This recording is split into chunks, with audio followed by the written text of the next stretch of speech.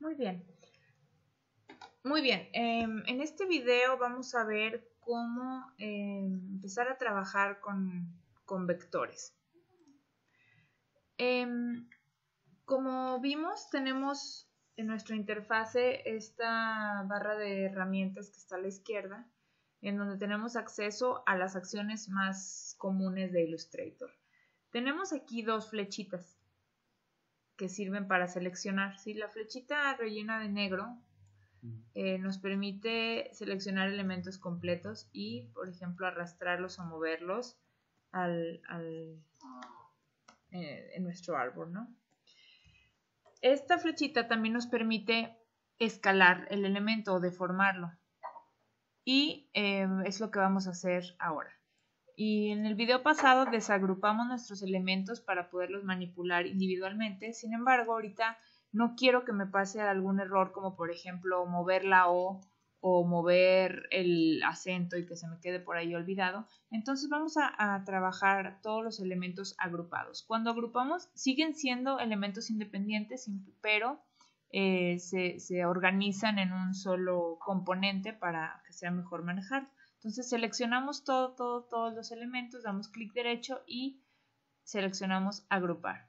Ahora sí, si doy clic sobre uno de los elementos, el que sea, ¿sí? se selecciona todo lo demás y de esta manera evitamos eh, que, se nos, que se nos pierda algo por ahí. ¿no? Bueno, si yo quisiera eh, escalar esto, porque esto mide 60 por 90, entonces este logo me diría mucho, ¿no? Más o menos unos 30 por 30. Si selecciono todo el, si, si le doy clic a toda la selección, aquí en la parte de arriba puedo ver que mide 28 por 28 centímetros. Eso estaría muy grande si quisiera cortarlo eh, o, grabarlo, ¿no? Bueno, en realidad no está grande, depende para qué lo quieras, pero digamos que yo ahorita quiero algo que sea más chiquito. Bueno, eh, dando clic en cualquiera de estos eh, puntitos en los vértices y en, los, en el centro de las aristas de la selección, yo puedo escalar mi dibujo. Entonces, lo primero que vamos a hacer es escalar, aprender a escalar. Dando clic en estos puntos yo puedo em, deformar o cambiar el tamaño del objeto. Hay que tener mucho cuidado. Cuando solamente selecciono uno de los puntos y lo desplazo, puede sufrir deformaciones, como, como pueden ver aquí, nuestro, nuestro elemento. ¿sí? ¿Cómo le hago para escalarlo de manera proporcional? Es decir, que se haga chico o grande en todas sus direcciones. Bueno, para eso igual voy a dar clic sobre uno de los vértices, pero al mismo tiempo de dar clic voy a presionar Shift. De esta manera sí puedo escalarlo, hacerlo más chico o más grande de forma proporcional. Entonces vamos ahora a dar clic a escalarlo, hacer este ejercicio para escalarlo, ¿sí? Y una vez que termino de escalar, doy clic fuera de la selección y listo. Bueno, Ahora que ya sé cómo escalar un, elemento, voy a editar su, voy a, cambiarle el color. Illustrator te permite eh, cambiar el color de cada elemento y también te permite utilizar gradientes. Por ejemplo, en este caso no lo vamos a hacer, pero es, pero es bueno que lo sepan. Em, ¿Cómo cambio el color? Bueno, como, los como, como en todo lo demás, tienes diferentes formas de, de acceder a la acción de cambio de color. Si yo doy clic sobre el elemento, se va a activar aquí en mi, panel de propiedades, me va a decir qué elementos son, es un grupo, ¿no? Y aquí en apariencia me va a dar la opción de cambiar el relleno de los elementos del grupo y el trazo. El trazo se refiere al contorno. En inglés debe ser algo como fill y stroke.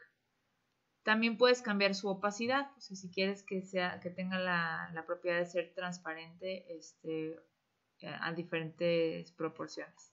Entonces puedes cambiarlo aquí, puedes cambiarlo también aquí arriba, ¿sí? en el panel de control o aquí al lado en la barra de herramientas. Si se fijan, aquí también tienes las dos opciones, ¿no? El cuadrito que está sobrepuesto y que está completamente relleno indica el color del relleno de los elementos y el de atrás que tiene ahorita una rayita roja, em, define el color del el trazo o el contorno.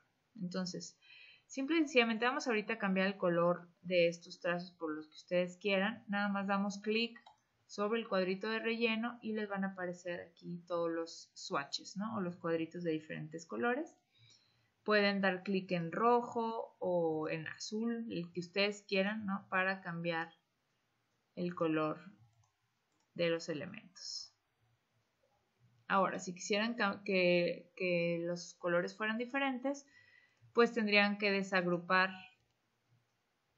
la selección, ¿no? Y ahora sí ya los pueden manipular de forma aislada, puedo seleccionar la T y cambiar solamente el color de la T, Si no quiero, pues si lo quiero regresar todos a negro, solo selecciono todo y igual voy a relleno, ya sea aquí o acá arriba, y selecciono relleno.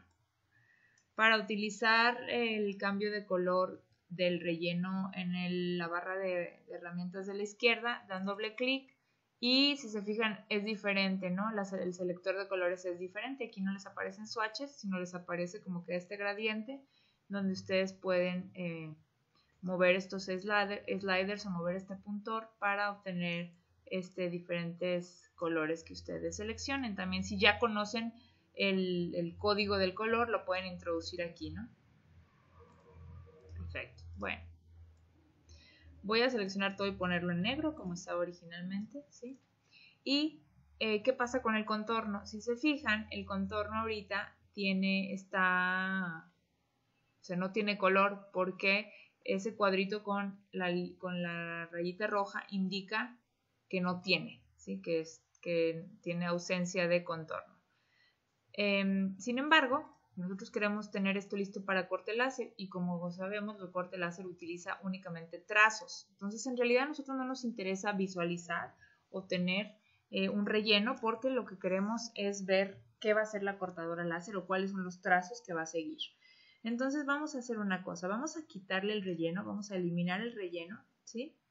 Yéndonos a... Em, a la opción de, apariencia de relleno y vamos a seleccionar ninguno, que es ese cuadrito con la rayita roja.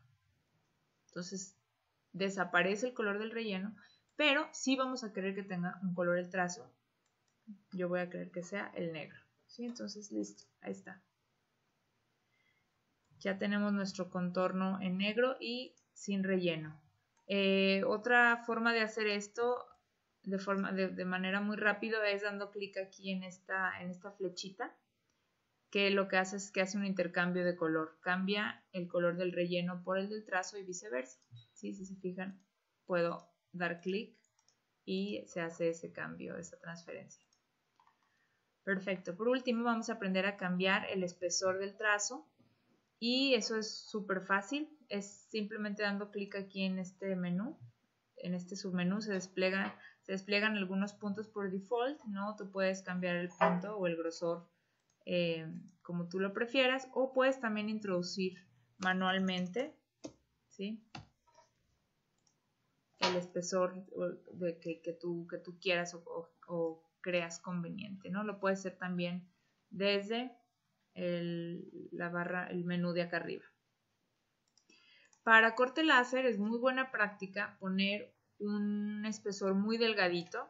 Inclusive yo recomendaría que manualmente escriban punto .1, que es lo más delgadito que puedes, que puedes tener. De hecho, creo que punto .01 también se puede. Pero eh, de esta forma, al exportarlo a un software de creación de código, eh, es menos probable que tengas algún problema cuando, cuando el espesor de línea es muy delgadito.